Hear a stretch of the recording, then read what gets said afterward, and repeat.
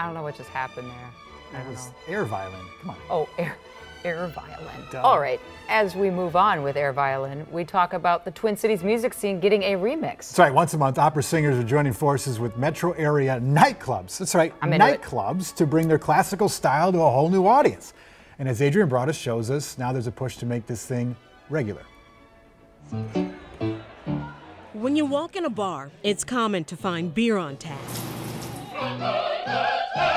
Mais si je t'aime, What is it? si je t'aime, Aria on tap.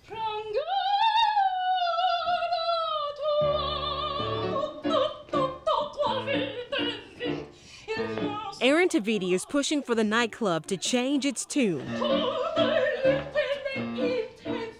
It's part of a movement called Opera on Tap. We're trying to break down the barriers that opera is real stuffy and that you have to be at a full, you know, opera house in order to see opera. So we bring it to the people in a bar.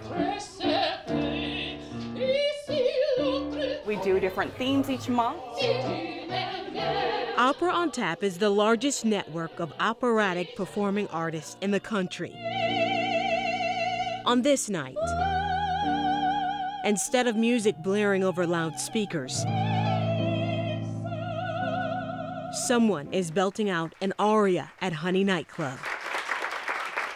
Trying to show that opera singers are regular people too. Yes, we have, you know, big voices and sing on big stages sometimes. We perform once a month, second Sunday of every month. And it's all local singers. The goal is to expand the program, which began in New York, to every city. Right now, there are 24 chapters across the country, including three in Germany. It's just a lot of fun. Davidi hopes their operatic melody strikes a chord. It's so up close and personal that you can see these fantastic singers in a real casual setting.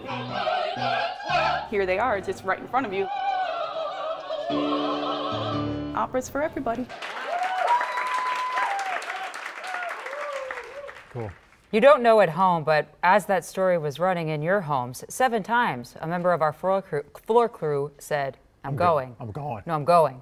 Hey, you guys, I'm going. I'm going. So, and she's a pretty cool chick. So, based on her review, you should go. I concur. Yeah. You know, it's not it's not high art, low art. I mean, it was just operas and plays were everything before film, right? So like, why wouldn't it appear at a bar, and why wouldn't people be interested in a good story with singing? I think opera's just one of those things where it's, you know, kind of like wine.